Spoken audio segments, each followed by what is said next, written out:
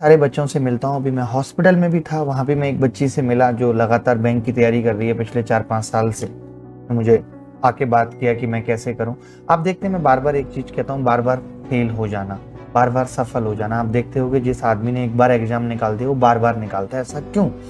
जैसे जीतना एक आदत है, वैसे हारना भी एक आदत है और जब ये आदत पड़ जाती है ना तो इंसान से ऐसे कंफर्ट जोन में चला जाता है, वहाँ से निकल के नहीं आ पाता। बहुत सारे लोगों को देखते होंगे जो लाइफ में जिन्होंने तैयारी शुरू की थी चार पाँच साल हो गए, आज वो आठ हज़ार की नौकरी भी नहीं ढूंढ पाते। क्यों नहीं ढूंढ पाते? क्योंकि वो करना नहीं चाहते, वो उस कंफर्ट जोन में आ गए, जहाँ वो सिर्फ़ घर पर रहना ही पसंद करते हैं, उससे बाहर नहीं निकल पाते।